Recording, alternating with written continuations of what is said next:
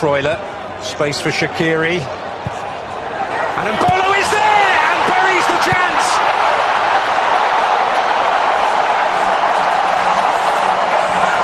And no celebration. Breel Embolo And Vargas! Oh, and a tremendous stop by Onana. Cameroon showed plenty of